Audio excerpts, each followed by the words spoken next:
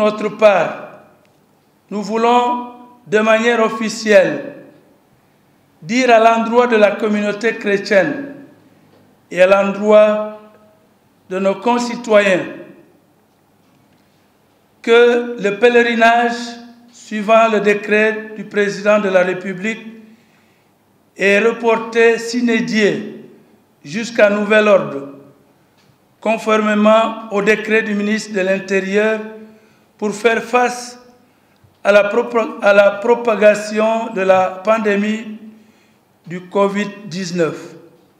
Car à l'exception d'Israël, les autres pays, à savoir l'Italie et la France, qui font partie du circuit à visiter, sont en très grande difficulté par rapport à cette pandémie. Et passer outre toutes ces mesures exposerait dangereusement nos concitoyens à être contaminés par cette maladie. C'est conscient de cela et en lien avec la conférence épiscopale de la province ecclésiastique de Dakar que nous avons pris ces mesures conservatoires en attendant de voir plus clair dans l'avenir. Si les choses s'améliorent, nous pouvons organiser le pèlerinage.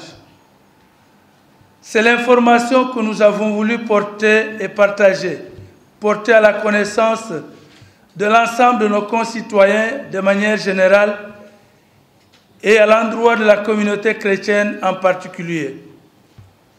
Alors sur ce, je voudrais vous remercier, chers journalistes, pour votre collaboration à la large diffusion de ces dispositions et de ces informations pour que nos concitoyens soient préservés de tout péril de l'âme et du corps.